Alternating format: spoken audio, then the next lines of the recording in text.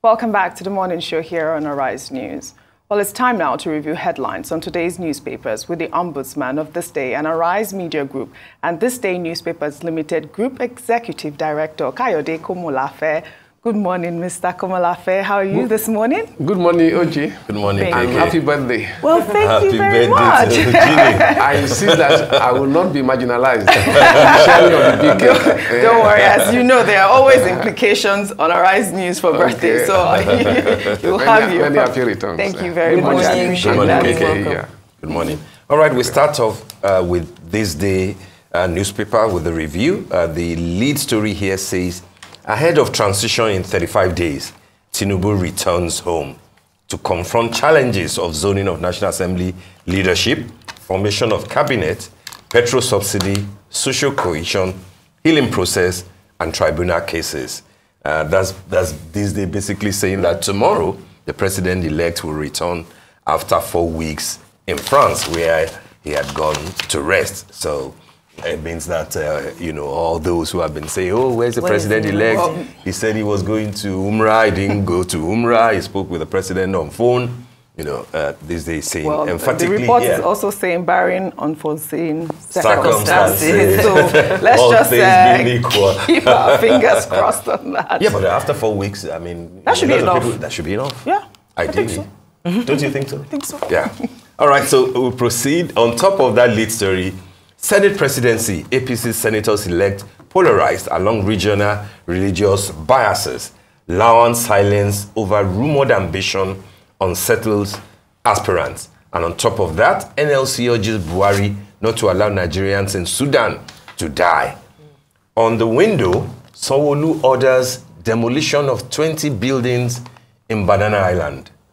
Says federal government agencies reckless, culpable in building collapse accuses Lagos state government officials of collusion. I think that's a major, major important position taken uh, by the governor of Lagos state. And, and I think that that will go a long way in sending the right signals. Those are the stories, KK. Uh, I don't know if you'll be interested in the cover picture, but I missed that. But those okay. are the key stories in today's This Day. Yeah, yeah.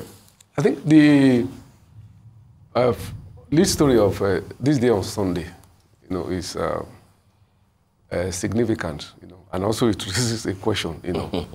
uh, yet, uh, it's uh, good news that the president-elect will be back so that we'll uh, be, uh, I mean, fully, I mean, feasible to be, because, because already people are asking. Yeah. Yeah, the president, the, I mean, the election has taken place, he's been elected. Yes. But where is the president-elect? So it's, a, it's good news that he's going to be back. But then the, jostling for uh, positions in the National Assembly, mm. it raises this question about the policy content of our, of our politics, you know. Uh, you know, it shouldn't just be that, you know, the speculation of who will be the speaker or who will be the president of the uh, Senate, you know, that the, the, the concentration should not only be on, uh, uh, I mean, based on geopolitical calculation, whether it's uh, North or South, you know, Christian or Muslim. But also, you should be able to, uh, from now, be able to say what is, what is the policy orientation, you know, that, okay, if uh, Mr. X becomes the Senate president, does it mean that he's going to support, you know, uh, I, mean, I mean, does it mean that he's going to mobilize the National Assembly to support, mm. you know, certain policies, you know, that the executive might bring forward? You know, for instance, you're talking of fuel subsidy, you're talking of, uh, you know, the debt, you know, uh, profile. Uh, the, the, the, debt, the debt profile. You're talking of uh, you know, job creation, poverty alleviation. What are the, you know, the, the, the, the, the I mean, the preferences? You know, will, it, will the Speaker of the House be a speaker who is uh, uh, in, support of raising taxes, you know, or you know, cutting taxes? But discover that all this is, I mean, all these, you know, considerations, you know, policy considerations are lacking. You know, all we just talk about mm. is whether the president of the Senate is going to be from the north or from the south, or whether Christian or Muslim are the same thing, the speaker. So I think there's need to elevate you know, the quality, you know, of uh, uh, politics and also yeah. increase the policy content, you know, the policy that we play.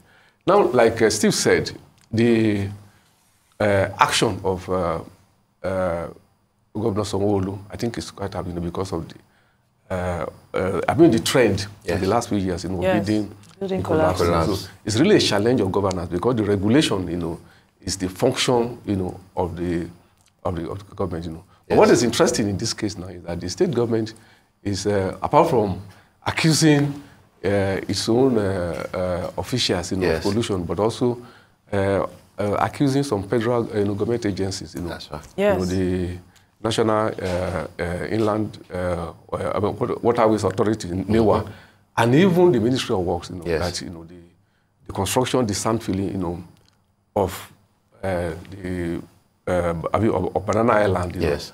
know, you know, has been. Uh, I mean that the, the terrain, you know, the, the, the terrain, the environmental factors, you know, have not been sufficiently taken into into consideration. You know, so that is really, you know, a policy challenge too, you know, for uh, Governor Sanwo-Olu. But uh, I watched, I watched the, the you know, uh, on TV yesterday, you know, when it went there, and it was really very, you know, uh, um, categorical. Yeah. The, the three of the high rises around uh, the site of, of the of the collapsed building, Yes. it was discovered that none of them had approval. Wow. And they're already suffering from integrity test anyway. And, and the governor has, has given the directive that they have to be pulled down. Taken Yeah. down. But you know, there's no denying know, I mean that that. that sort of lawlessness. I mean, It- it- it- you know, in such a And at the highbrow, huge cost, at the such a cost, high, yeah, highbrow yeah, area. area, I mean, yeah. it's it's um, it's Yeah, right. I, I I was saying yeah. that there's no denying that you know these um, Lagos state government officials, uh, you know, are colluding Oh, with yes. these developers because you would see that the recent collapses are in uh, highbrow areas. I mean, if you can have those type of buildings collapse, I mean, what what, what else is there? On Gerard, in In Banana, Banana Island. Island, I that's- mean, that's- that's yeah. scary. Well, kudos again Yeah. to the governor for actually, you know, and he should, saying he should that keep it well. up. you Yeah. Keep it up, yeah. No, no sacred cows when it comes to people endangering lives of citizens. Absolutely.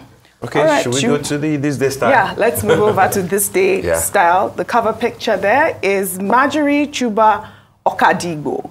Uh, she talked about empowering women in energy. She is the first female NNPC chairman.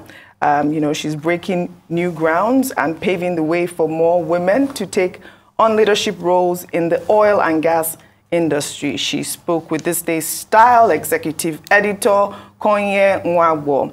And, you know, they also talked about uh, uh, creating a voice for other women in the male dominated oil sector and the strategies that should be in place to address the underrepresentation of women in leadership position in the country. I mean, in the industry as well. Um, I think another thing that is important, which I think, did you read that on this day? Which one? We, we see that we don't have the actual physical copy of this day's style. I believe that they are trying to promote the website. That's so we can see an e Okay, so the copy copy, the of the e-copy This it. Day style Okay, on right. www.thisdaylive.com. Dot com. com, yeah. Thisdaylive.com. I mean, I think that would be a good read. It can easily for be you and I, accessed, yeah. Shaitan. Yeah, yeah. Absolutely. Yeah. Yes. Would you like to comment on Margery? Yes, I think the the theme of uh, uh, Mrs. Okadigbo's um, uh, interview is a very important one. You know, in trying to promote you know gender equity you know in the in the industry, and this is something she has actually been you know talking you know about quite, quite some time. So it's a good thing that uh, this day style has uh, provided a, a good platform you know for her Yeah. to expatiate you know that particular thing, which is a very you know, im- important one. Would, would she have the privilege of appealing the court ruling that has removed her from uh, from the position no, of it the- is not her business. The, the case is against The- person who, who, who who appointed. her. She, she doesn't have any. Okay. She doesn't have any, any, any problem at all. You know, you know. Um, Mr. Araro took the, the, the uh, in fact took President, the president. uh, President uh, Buhari to, uh, to, to, court. to court. Yeah. So Isn't that funny that, uh, that the president who, who, who owns the appointment says this is the person that I want and then he said no way. But I mean, yeah, that's, it's, that's it's, it's left for the court to decide. And in any case, the, the court has decided in his favor this time around. But, but That- that's the first- that's the first round. for appeal. yes. Yeah. Okay, Yeah. Jason, do we look at the Okay, at let's Tribune? take a look at the Sunday Tribune. Uh, the headline story there reads EFCC uncovers a ring of fraudsters investing in real estate. Uh, it's on page six. Targets owners of estates in Abuja and other cities. Uh, right there on the top, it reads Hope rises for stranded Nigerian citizens in Sudan. Uh, full read on there on page four. NEMA is assuring uh, Nigerians who are stranded in Sudan of safe evacuation. However, peace not yet in sight as warlords vow to fight to the finish. I mean, this is the story that has been going on with everything that's happening yeah. in Sudan. There was supposed to be so tragic, a 72 yeah. hour ceasefire, but unfortunately, that has not been the case. But it's looking like there's hope for Nigerian citizens in Sudan. Maybe they will be brought back into Nigeria.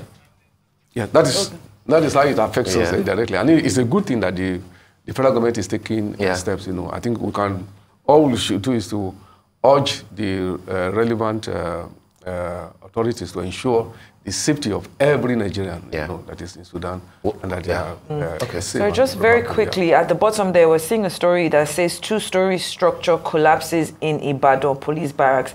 And I just picked that because I mean we're talking yeah. about yes. everything that's been happening with exactly. the collapsed buildings yeah, in Ikoyi. Right. So I mean there should be an investigation into what Absolutely. has happened Absolutely. in Ikoyi and the highbrow areas, but the lowbrow areas they, themselves should not be ignored because even there there's also corruption. That, that's for your, for your state governor to deal with. But I wanted yeah. to make a comment about the EFCC uncovering thing. Mm. This is a big, big issue. Big uh, but, but one thing that the EFCC should also look into is the growing rate mm. of of fraud mm. uh, on the on the internet on social media for people who are who, who are buying foodstuffs, mm. you know, and edibles through this thing. So many of them, many big, low, medium people complaining now. You pay, you see what you want to buy, but you, you pay, and then it. you never receive it, and then they cut you off.